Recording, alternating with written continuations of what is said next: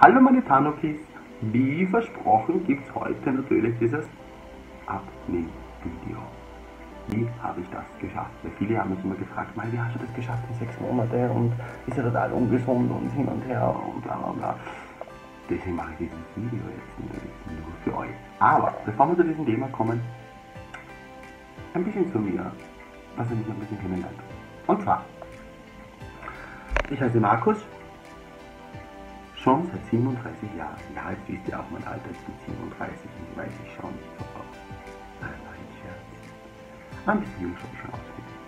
Ähm, ja, noch zu mir, ich liebe Anime und Manga. Ich mag's wahnsinnig. Ich liebe Asien, sprich Japan. Ich war schon oft in Japan. Äh, ich war sogar in Anime 14 Akihabara. Das ist so geil. Das ist wie ein Schlafenland für mich. Natürlich. Und ähm, ja, und äh, ich war jetzt bis vor kurzem äh, in Taiwan für sechs Monate in Taipei in der Hauptstadt. Und bin deswegen hingeflogen, weil ich sechs Monate Schule gegangen bin. Sprich, ich habe Chinesisch gelernt. Was wirklich sehr schwer ist. Aber ich kann schon ein bisschen was. Perfekt noch nicht, um Gottes Willen. Da braucht man noch ein bisschen länger, ein paar Jahre, dass man das kann. Aber ein bisschen kann ich schon sprechen. Und ich verstehe in Zukunft die Leute im chinesischen Restaurant, was sprechen Pass auf. Nein. Ähm, ja. Und ähm, bin seit zwei Wochen wieder zurück aus Taiwan. Ich vermisse jetzt schon wieder Taiwan. Aber ich freue mich wieder. Ich fliege im November wieder hin für sechs Monate, äh, um weiter zur Schule zu gehen.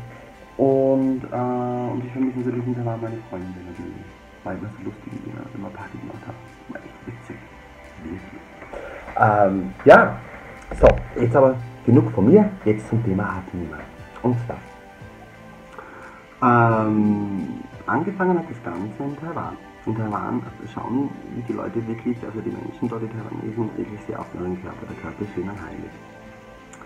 Und es gibt ganz, ganz selten, dass du siehst, dass jemand irgendwie dick ist. Ich war, glaube ich, die Attraktion in Taiwan. Definitiv. Na gut, ich habe, wie ich nach Taiwan geflogen bin, 133 Kilo gewogen. Ganz genau, das weiß ich noch. So, irgendwann einmal, das war im Januar dieses Jahr, ich glaube, das war Anfang Januar, ähm, ich bin jeden Tag mit der, in die Schule gefahren, mit dem Bus natürlich und mit der U-Bahn. Und was immer sehr aufregend war, ich habe immer gern rausgesehen, weil es immer was Neues Ding drin hat. Ja, dann irgendwann einmal komme ich von der Schule raus, warte auf den Bus und natürlich die Busse, die Sitzgelegenheiten und in der U-Bahn sind asiatisch geschnitten. Das heißt, ich als Europäer mit meinem Gewicht, mit meiner Popo, habe ich mich reingezängt. Wirklich reingezängt. Und ja, ich stecke den Bus ein, zwänge mich wieder den Sitz rein. Neben mir sitzt ein älterer Herr und sein Ellbogen war natürlich in meinem Bauch, weil er sonst keinen Platz gehabt hat. Und das war mir sehr unangenehm. Und, ähm, und irgendwann, irgendwann während der Busfahrt habe ich so zum Denken angefangen, so, angefangen zum Nachdenken.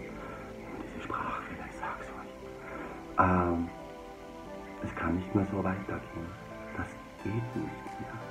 Ich, ich muss was machen. Ich will nicht mehr dick sein. Ich, ich mag das alles nicht mehr. Den Schuh Bänder binden, bleibt dir die Luft weg. Beim Treppensteigen musst du, wenn es im sechsten Stock, wo wir gewohnt haben in Taiwan ohne Lift, viermal stehen bleiben und Luft zu holen und rasten. Das war echt heftig. Und ähm, ja, und dann auf einmal hat es wirklich Klick gemacht. Es hat, es hat Klick gemacht. Ich war selbst von mir überrascht. Wirklich, es hat Klick, Klick, Klick gemacht. Und von dort an habe ich echt gesagt, aus, nur, ich will nicht mehr, ich mag nicht mehr, ich nehme ab. Da kann sein, was will. Ich habe viele Diäten schon probiert. Jedes Mal gescheitert, Jojo-Effekt, jedes Doppelte raus. Aber von dort an, ich weiß nicht, was mich da geritten hat. Natürlich im positiven Sinn. Ähm, ich habe abgenommen. Ich habe von heute auf morgen Cut gemacht. Ich habe keine Süßigkeiten mehr gegessen, keine Nudeln, keine Fickgala, kein Brot, gar nichts. Ich habe mich wirklich nur mehr von Rohkost ernährt. Wirklich, Salat. Jeden Tag Salat. Mittlerweile liebe ich Salat. Ich meine, habe ich vorher auch schon geliebt, Salat. Aber jetzt noch mehr. Und früher habe ich wirklich eine ganze Schüssel Salat, große Schüssel Salat gegessen, dass der Hunger irgendwie weggeht. Weil natürlich hat man auch Hunger und Heißhunger zwischendrin. Das ist einfach so. Man muss einfach drüber stehen und den Schweinehund besiegen. Im Namen des Notens. und ähm, ja, ich habe ich hab den Schweinehund wirklich überstanden. Mittlerweile habe ich dieses Gefühl nicht mehr, diesen Heißhunger nach irgendwas oder ich will jetzt was essen und hin und her. Ich sollte übrigens mal was essen. Ich habe halt gar nicht gegessen. Nicht einmal Salat, gar nicht. Ja, das kann man später. Ähm, ich muss mich zwischendurch bald zum Essen zwingen, weil ich vergesse das mittlerweile. Und ähm, was natürlich nicht gut ist, Leute, macht das nicht. Und ähm, ja, und, und so hat das Ganze angefangen. Die Kinder sind ein bisschen dann gewurzelt natürlich. Und ich bin total der Sportwurst. Extrem. Mich hat keine Fitnessstudio reinbekommen. Wirklich. Wenn ich einmal vorbeigegangen bin, ich habe die Leute gesehen, beim Abstrampeln, beim Fenster, wo man durchschauen kann, beim Vorbei, Vorbeigehen. Ich sage, ha, ha, ha, ha, die machen Sport, ich hau mir noch einen Kuchen rein. Yeah! Wer war der Dumme? Natürlich ist es ja klar. Ja. ja, mittlerweile liebe ich Sport. Mittlerweile gehe ich jetzt wirklich mittlerweile viermal die Woche ins Fitnessstudio. Gehe auch heute Abend wieder, weil mir Sport wirklich Spaß macht und es tut auch wirklich gut. Man fühlt sich danach wirklich gut. Ich habe das nie geglaubt vorher. Nie. Niemand, der was mir das erzählt hat. Mittlerweile glaube ich jetzt, weil ich selbst schon jedes Mal, wenn ich Sport fertig bin, ich spüre es nicht ich bin wieder gut gelaunt und, und, und ich bin eigentlich immer gut gelaunt. Das war jetzt blöd. Ich bin immer gut gelaunt. Ich bin immer witzig. Crazy. Glauben Sie, ein bisschen crazy. A little bit crazy. Wirklich. und ähm, ja, und dadurch sind die Kilos wirklich geputzt. Ich habe das Gefühl, die Kilos putzen.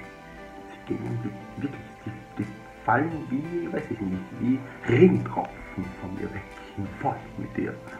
Und äh, ja, das motiviert einen immer. Man sieht immer Erfolge und, und, und, und, und, und das motiviert noch mehr, noch mehr die Leute, wenn sie dich sehen einmal nach langer Zeit, boah, bist du dünn geworden, wie hast du das gesagt?